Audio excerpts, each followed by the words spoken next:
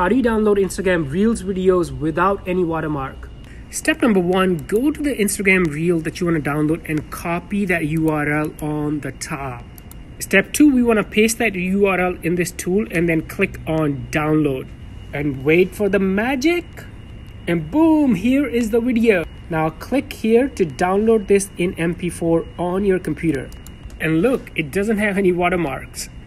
Also, the video is HD